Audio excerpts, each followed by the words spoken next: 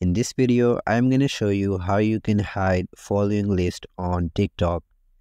So the first thing you are going to do is you are just going to open the TikTok application in your phone by tapping on it. And in here, if you see at the lower right side of your screen, you will be able to see your profile.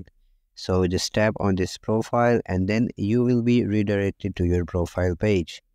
So once you are here, if you see at the upper right side of your screen, you will be able to see here three lines. So you are just going to tap on these three lines and after that you will be able to see here three more options. So as we can see here that the third option is settings and privacy.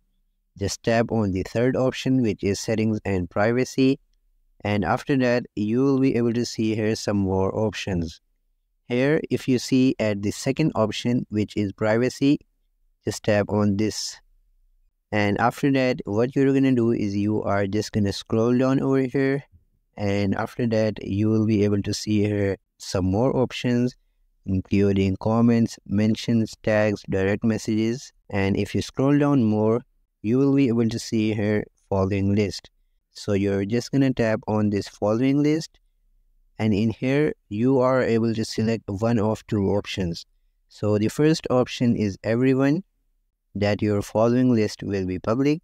And as we can see here that the second option is only me. So to hide your following list you are going to tap on the second option which is only me.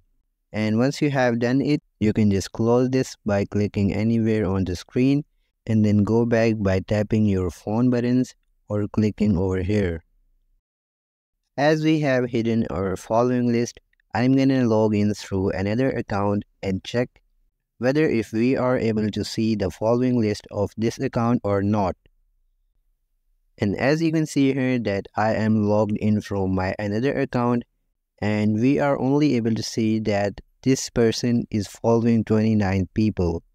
So if we tap on the following list on this account, as you can see that we're not able to see the following list of this account and it says the following list is hidden due to account's privacy settings.